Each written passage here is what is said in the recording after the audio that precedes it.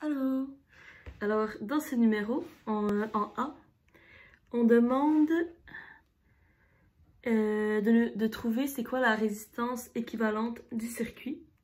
Et on nous dit également que chaque résisteur a une résistance de 60 ohms. Alors, euh, j'ai essayé de décortiquer le circuit. Euh, pour le décortiquer, qu'est-ce que je fais? Dans le je commence par essayer de trouver quels résisteurs sont en série ensemble, quels résisteurs sont en parallèle. Alors, voyons voir. Je vois que R1, R4 et R7 sont en série. Alors, je peux simplifier le circuit en redessinant. Alors, comme on peut le voir dans le schéma, j'ai regroupé mes résisteurs 1, 4 et 7 sous un seul résisteur que j'ai appelé R147. Euh, puis maintenant, la technique, ça va être de calculer c'est quoi la résistance de ce nouveau résisteur. Comme euh, il est formé des résisteurs 1, 4 et 7 qui sont en série, pour trouver sa résistance, on a tout simplement à additionner euh, chacune des résistances respectives. Donc R1 plus R4 plus R7.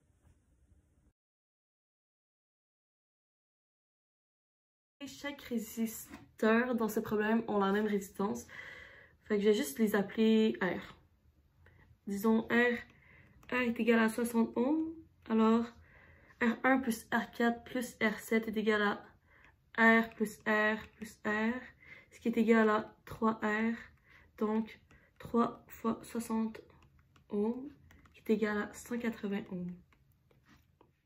Là maintenant, euh, je peux voir également que R2 et R147 sont en parallèle parce que quand on parcourt le circuit, les deux, on peut entrer par le même nœud et on ressort de leur branche par le même nœud. Alors, si je redessine le schéma, on a encore R6, R5.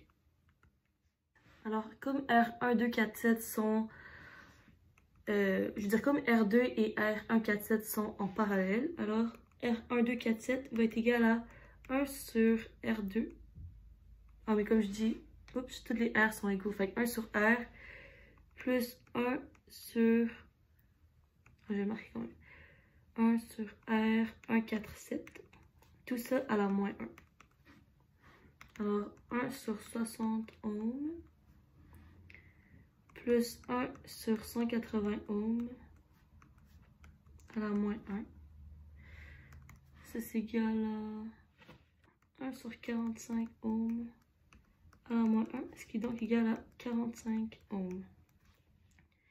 Maintenant, quand j'analyse le problème, je vois également que R3 est en série avec R1247.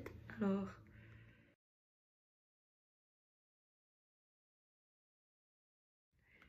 Comme R3 est en série avec R1, 2, 4, 7, on a juste à additionner leurs résistances respectives. Je peux voir que R5 et R1, 2, 3, 4, 7 sont en parallèle. Donc si je continue, R6, comme ça,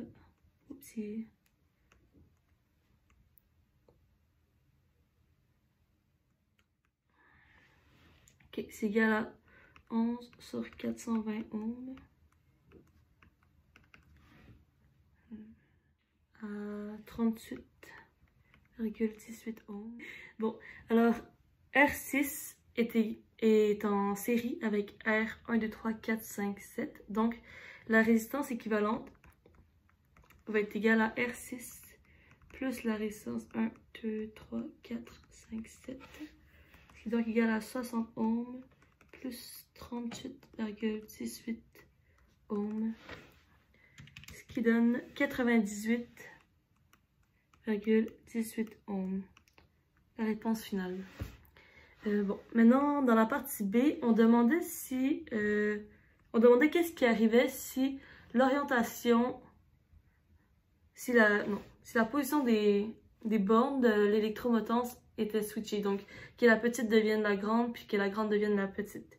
On demandait qu'est-ce qui arrivait au résultat trouvé en A. Donc, qu'est-ce qui arriverait à la résistance équivalente? Eh bien, ça va rien changer parce que la résistance équivalente, elle dépend seulement de la position de la pile dans le circuit et non de son orientation. Comme on peut voir dans les calculs que je viens de faire, euh, en aucun cas on prenait le sens du courant dans les calculs. Alors euh, en B, on peut répondre avec confiance que ça change rien.